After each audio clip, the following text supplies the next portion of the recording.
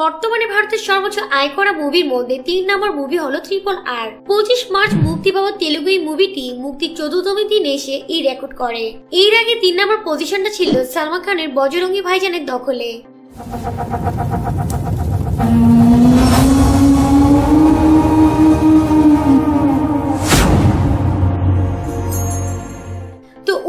দিনে দুশো তেইশ কোটি কালেকশন করা ট্রিপল আর চোদ্দ দিন শেষে সারা বিশ্ব থেকে নশো সত্তর কোটির মতো গ্রস কালেকশন করে। এই নশো সত্তর কোটির মধ্যে তেলুগু মার্কেট থেকে আসে গ্রস তিনশো পঁচাত্তর কোটি, হিন্দি মার্কেট থেকে আসে গ্রস দুশো পঞ্চাশ কোটি, তামিল মার্কেট থেকে আসে গ্রস সত্তর কোটি, কান্নাড়া মার্কেট থেকে আসে গ্রস আশি কোটি, মালায়ালাম মার্কেট থেকে আসে গ্রস বিশ কোটি এবং বিদেশ থেকে আসে গ্রস একশো পঁচাত্তর কোটির মতো।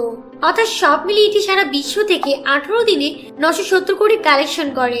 উল্লেখ্য চার নম্বরে নেমে যাওয়া সামা খানের বজরঙ্গি ভাইজান সারা বিশ্ব থেকে মোট নশো উনসত্তর কোটি ব্যবসা করেছিল।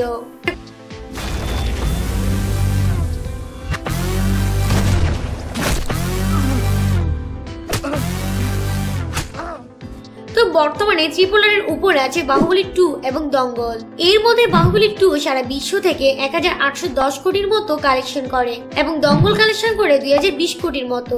কিন্তু এখনও এক হাজার কোটি পার করতে না পারা ত্রিপুলার এই দুটি মুভি টপকাতে পারবে না।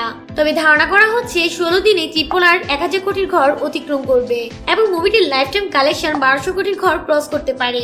অর্থাৎ ত্রিপুলারের লাইফ টাইম কালেকশন বারোশো কোটির আশেপাশেই হবে। তো ত্রিপুরার মুভি ক্লাইম্যাক্স আপনার কেমন লেগেছে? কমেন্টে জানান। ভিডিওটি ভালো লাগলে একটি লাইক দিন। সবসময় সাথে থাকার জন্য আপনাকে অসংখ্য ধন্যবাদ।